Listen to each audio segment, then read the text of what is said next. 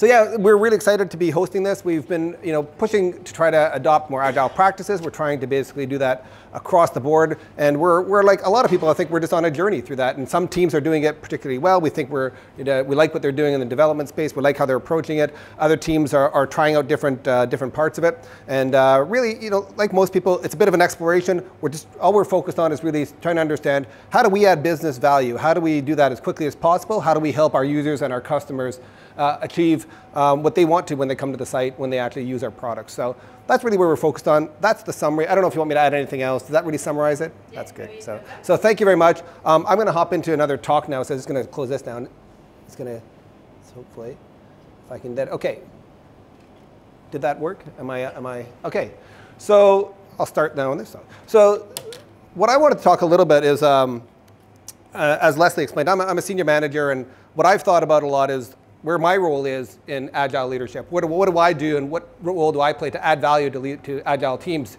Um, the thing that got me thinking about it is when you think about agile teams that are, uh, that are um, self-organizing, they're highly autonomous, I'm going, okay, so what, what actively do I do when I'm thinking about uh, getting involved with agile teams? How do I play a role that is a value add type of role? And so I've presented this talk called Agile Leadership my, my cunning little working subtitle is Leadership Through Lux, which I think is more of a you know, ringing title than Agile Leadership, and it'll, it'll hopefully becomes apparent why it's called that uh, after a while. So um, when I went to embarked on this process, what I'm really trying to do is I really like to work with models, and I followed this course online of that Luc de Brabandere did about sort of what managers can learn from philosophy, and he talked about deduction and versus induction.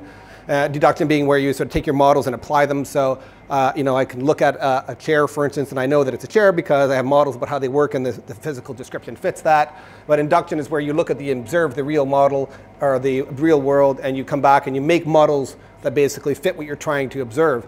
And so what I wanted was kind of a physical model around agile leadership that I could uh, play around with in my head. And really what I, I like to do that because it, you can then like throw new constraints at it. You can try different things. You can, it maybe allows you to see things from different perceptions. And uh, I wanted something that I could play around with. So I started to think about what, is, what does agile leadership mean? What do, team, uh, what do teams deliver? And how do I play value in that in terms of a model? Um, so I started with team delivery, saying, OK, so I've got to add value to the team. So there's my team, a well-diverse little bunch of people there. Uh, they're, they're kind of congregated close together because they're a very close-knit team. And uh, we've got a goal, and really what they do is they try to, over time, you know, just get to that goal from start to finish. Now, this was a simplistic model, and some people might say, that's great, they got a goal, and they're very, very efficient about how they do that. Um, but it's not really very agile, is it? Because, I mean, really, we know that, in fact, having a very clear, predefined goal ahead of time is not really generally where you'll end up. And in fact, having a team that consistently and regularly at every marches completely towards that end goal is also not really where we end up. Really, what tends to happen is we have a team and what we have is kind of a general destination we're trying to end up with. Like here's, here's, a, here's a map and there's kind of a, a wider perspective of where they're trying to end up. And really what they're trying to do is that they bark on their journey and over a series of steps and iterations, they kind of meander they where, they get customer feedback, they get user feedback, they understand a bit more about their problems, and they try to find their way towards what is essentially on the destination somewhere, but it's not an exact point that we've predefined over time. So I was like, okay, great, that looks like a model that I like. And in fact, when I attended Lean Agile Scotland in 2016, Melissa Perri talked about something similar towards a product strategy. So I thought was, that was quite encouraging, right? You know, she talked about how basically you have to condition targets and vision, and you basically experiment your way towards that goal. Um, so I was like, okay, great. I, I think that's working well. Um, and then when I started to think about this, highlighted now in red, this kind of journey that the team are on, well, as I mentioned, that's a self-organizing, highly autonomous team. So I don't really want to be overbearing on that. I don't want to be micromanaging that. I want to basically be understanding what my role is while still letting them have these attributes of self-organizing and highly autonomous. And so I was thinking, okay, as a leader, what do I role do I play in that? And uh, going back to Melissa Perri's presentation, she actually talked about things like things like visions, goals, and guardrails. I was like, guardrails, okay, I've heard that before. So I'm going to include that in my model. I've got great, I've got guardrails. Okay, that's fantastic. Looks like a nice visual sort of work the model I can work with. Um, the only thing I got concerned about is I'm going, to go on, okay, guardrails are kind of constraining. So uh, I don't know if anybody recognizes this, but you could end up with basically having constraints that basically look like this. Hey, there we go. Now I'm back where I was. Nice tight constraints. don't allow you any flexibility, and basically you've got the model you started off with, which is really highly efficient. So, and I've been in situations like that where you know you just kind of meander. You're not really meandering. You're kind of just got constraints that just don't allow you to sort of flexibly go anywhere. So um, that's not where I wanted to end up either. What I wanted to think about more was what is this space in there? What am I trying to constrain? And so when I looked at it, I was like, this space here, what we're trying to do is understand more about the destination. It's kind of a, an end goal we're trying to reach, a vision. And really this is exploring the problem space. So this is trying to understand more, what do customers really do in this space? You know, how do our, the features we're developing, how do they actually work when we try them out? We're answering a number of hypotheses, which means that my guardrails are, are really things around, they can be constraints from the problem space. You might have things like performance that might indicate sort of how you're doing things. You might have imposed limitations. You might have budget, for instance, that says, okay, your company says, well, I don't mind you exploring, but here's what, here's what we're willing to spend on this solution. We don't want to go beyond that. Um, you might have an agile team charter that defines not only your vision, your goals, but maybe you might have it defines your protocols, how you're going to interoperate, how you're going to uh, uh, act as a team. You might have other ones as well too, but the point is they should be influential in helping the team make decisions. So uh, you want to really think about, if I'm thinking about guardrails, I want to know that they're adding value and I want the team to basically think about that when they're exploring the space, are these constraints, are these uh, other guardrails that I'm putting in going to help them sort of navigate the course and make their way there. And it's going to help them to make, make some decisions. Um, so at that point, I was like, okay, I've got some guardrails. I like that. Uh, working around that model in my head. And what I was realizing is that know, what we were talking about here is really the context in which they're operating. And I was sort of playing around with this and going, that's really where I think as an agile leader, that's where I want to focus on. As I said, I don't want to focus directly on manipulating the team to a certain degree. What I want to do is I want to think about what context and how do I help and build that context for them to achieve uh, or most likelihood of success. Um, so I was having that, you know, that thought. I was thinking guardrails, got that, thinking about my, you know, doing that. And I'm thinking about context and environment for teams. And I, I walk by this, the Linlithgow Union Canal Society, or LUX, for those of you who are paying attention to the beginning slide. Some of you in here may recognize this from uh, close by. So I live in Linlithgow, so I was walking by this, and I'm, I'm thinking, as I'm doing this kind of hand motion as I'm walking along the canal path, I'm going, well, you know what? Actually, the canal kind of looks like that model as well, too. So so maybe, maybe I can think about you know, what teams deliver in terms of a model of a canal. So this, maybe I, how does that work? Well, let's see, I've got sort of canal banks, and you know, these are man-made items, so I can define what the canal banks, how wide they are. They kind of represent my constraints. I've still got, well, a treasure map, that's pretty good for being on water. And, you know, not sure there's any pirates in there, but this is kind of like you know, a, a good model to work with. And I've got this kind of flow of water. Uh, and the real key is, does that really help me in terms of thinking about agile leadership? Does it really change where I was before? Well, what I thought about is, in fact, you can change this now to give depth to your whole equation. So now I've got a model that has depth to it. Okay, if I have a model that has depth to it, what can I do with that? How does that make me think about agile leadership? Well, here I've got a kind of a flat, smooth terrain on the bottom of my, um, of my, you know, my journey, I guess, really, but that's not always the case. You know, it could, it could be that I've got a rocky journey, a rocky terrain to go down the bottom. Or it could be that I have a non-smooth rocky terrain. In fact, it could be that my canal is not smooth at all. My canal might look like that. And I think a few people might recognize sort of delivery journeys that probably feel a bit like that when they actually go through it. Um, so start to think about, you know, that's okay when I'm, I'm looking at that. And these poor guys got to basically look at that too. And they're going, how are we basically going to get successfully through this journey? Um, so that's why I start to think about, uh, as an agile leader, okay, what they're encountering at this point. And what they're really encountering is turbulence. So now I've got this model where I've encountered a turbulent flow through my journey, and that's really what my, my team are going to encounter. And what does that turbulence really represent in terms of a, a you know, tangible, realistic view? It represents things like market conditions. I mean, if you're actually deploying new products into market conditions which are highly volatile, you might have new competitors coming in, you might have people doing all kinds of new things that you need to keep track of, and they're going to throw you in different directions. You might have internal projects and changes. Certainly in the public sector, or we operate in, we have a number of projects undergo at any point in time simultaneously. Those things may come across your path, may impact the projects you're working on, and may impact the teams in terms of their delivery. Um, they may just represent uncertainty. So if you're working in an, in an, area where you're developing new items, which maybe uh, have a little bit more or a lot more kind of new things that may prop up and you might get different feedback from your customers you weren't expecting. It may throw you in a new direction. And that kind of level of turbulence is really what I was thinking about when I started to continue with this model. So the question then, as I thought, is how do I best equip the teams to deal with this level of turbulence? So as I was thinking about that, I thought about appropriate tooling. And again, I went back to, you know, a place of like Lean Agile Scotland, 2015. Alicia Rivero talked about um, thinking fail-safe, and she had this view of sort of a canoe on a lovely lake, and she was identified the fact that the canoe is absolutely great, very well designed for going on a nice smooth lake, gets you there very efficiently, very quickly. But in fact, when you meet turbulent waters, the canoe may not be the best, most appropriate piece of equipment you want for that, and it may actually lead you into different uh, challenges and difficulties.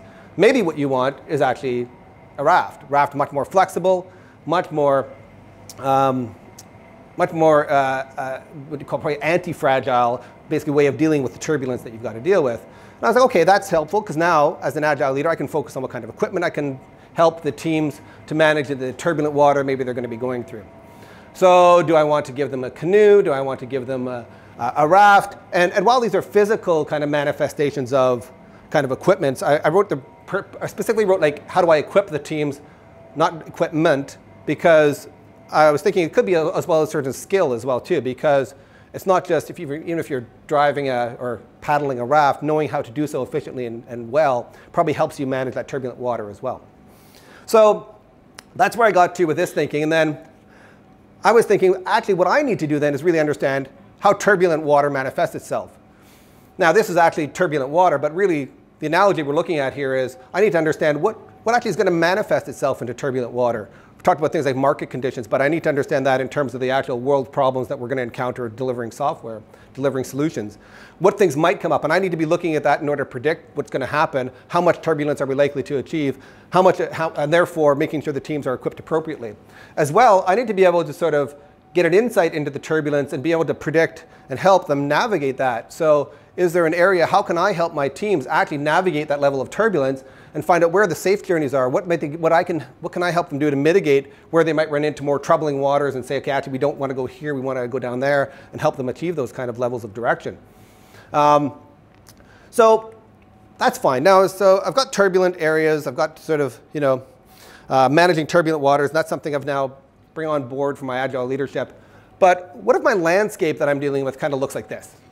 That's not great if you're, that's not great if you're dealing with a canal. You know, uh, that's my model kind of going, how do I deal with that if I'm a canal now? This is my, my model I'm working with. Well, we have examples where people have dealt with this because they've introduced things like locks. But that's a very manual process that they've introduced to try to you know, get themselves around that, that particular landscape environment issue.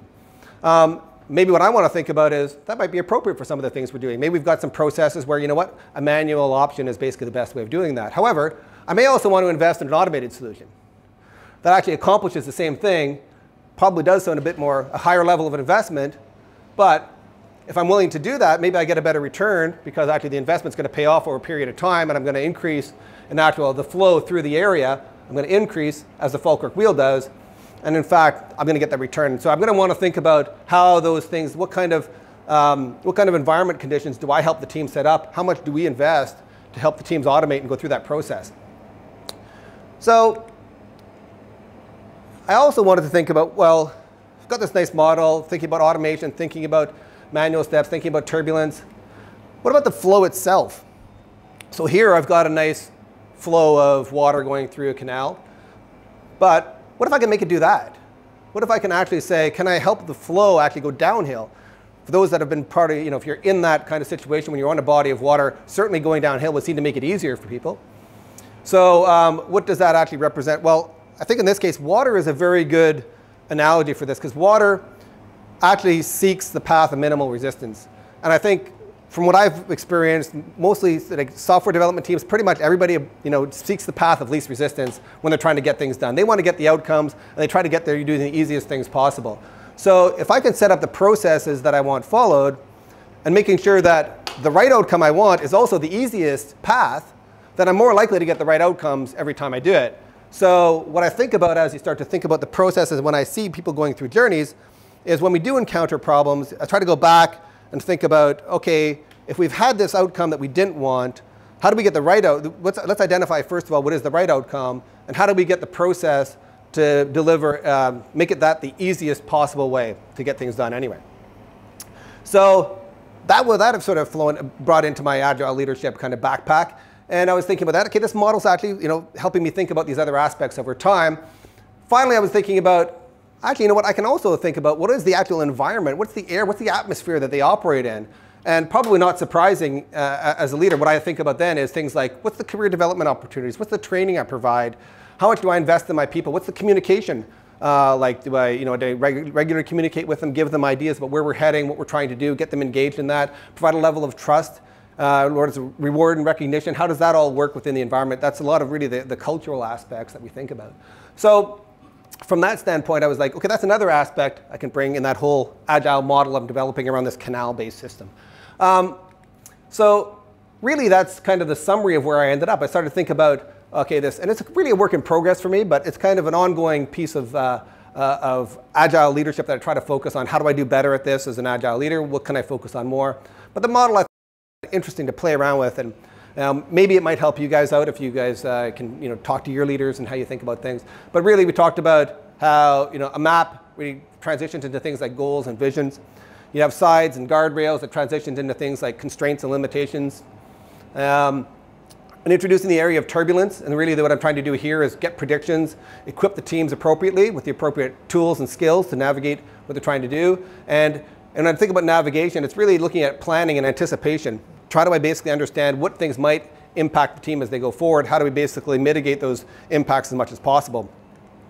In terms of the landscape, trying to figure out what we can automate, what do we invest in, where do we try to make sure we make the right investments? Uh, thinking about flow, really this is about reducing friction in our process, trying to make sure the processes are as seamless as possible. How do we basically improve them?